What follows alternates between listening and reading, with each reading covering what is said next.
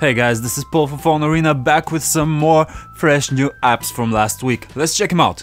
Google Allo for iOS and Android. This is Google's brand new chat app. What sets it apart from the rest is the Google Assistant which you can interact with from every chat and a set of suggested words which should make replying in mundane situations much much easier. Of course, it also has its own massive set of stickers. Can't go anywhere without stickers Eyeshot for iOS. This is a picture sharing app with a twist. Uh, when you upload a photo, it has 100 hours to live. Every time someone likes it, it gets an extra hour. Enough likes can turn a photo immortal.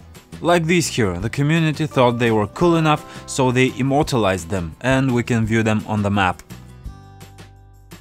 Ivy sidebar for Android. This works a lot like Samsung Edge panels, down to the handle. However, it also has a twist. You can add your favorite RSS feeds, so this new sticker down here would display them. You can also add your favorite widgets. Notice how they stay always on top, giving me a picture-in-picture -picture like operation. Light EQ for Android. This has been developed by ACD Systems, developers of the popular ACDSee software for PC. It's a simple exposure adjustment app.